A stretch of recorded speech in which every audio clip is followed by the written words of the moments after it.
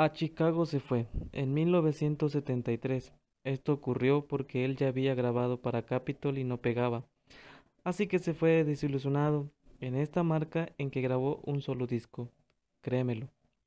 Le dijeron, no la haces como cantante, pero ¿qué te parece si intentas de director artístico? Comenzó entonces a trabajar con, su, con un sueldo por un año. Iba y venía de México a Cuernavaca, pero finalmente renunció porque su verdadero deseo era ser cantante. No obstante, este trabajo le sirvió porque desarrolló el talento para dar con voces y estilos atractivos para el público. Decidió entonces irse a Estados Unidos, pero como no tenía papeles, primero se dirigió a la frontera. Llegó a Sonora, en donde trabajó como cantante. En su viaje estuvo acompañado de Toño Zamora, que entonces tenía muchísima fama con la canción Zacazonapan de Rubén Méndez, la que dice, en el Estado de México nací, yo soy de Zacazonapan donde crecí. Algo tiene de aire de familia esta canción con la futura Juliantla. Durante muchos días la familia no supo nada de José Manuel, hasta que sonó el teléfono en el trabajo de Rosa. ¿Es usted la hermana de José Manuel? Llamó para dar, llamo para darles razón de su hermano, a ustedes y a sus papás, para decirles que está bien, que no se preocupen, que sigue para adelante. Si Manuel se estableció en Chicago fue porque su papá tenía familiares en esa ciudad. En aquella ciudad conoció a un señor que tenía restaurantes, gasolineras, tiendas de supermercados y a quien le dedicó una canción. El motivo principal de su viaje era buscar una oportunidad porque se había enterado de que un cantante local estaba interpretando sus composiciones, las cuales estaban funcionando muy bien.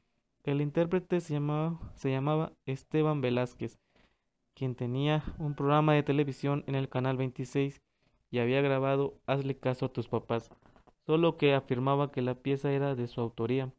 Ese fue un grave problema que José Manuel tuvo con Esteban en aquellos tiempos, pero la verdad es que llegó pobre, buscando una oportunidad y antes de conseguirla tuvo que trabajar como lavaplatos y como cocinero.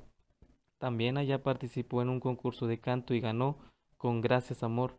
Asimismo le gustaba cantar sus canciones de protesta como Juan Jornal, Lodo que sabe brillar y El buitre pasó. Pero lo más trascendental es que en Chicago conoció a Teresa González Ramos, su esposa, en 1973. Se conocieron porque Esteban Velázquez era novio de la hermana de Teresa, una joven muy guapa de Agualeguas, Nuevo León, que participó en el certamen de Miss Valentín y ganó el segundo lugar.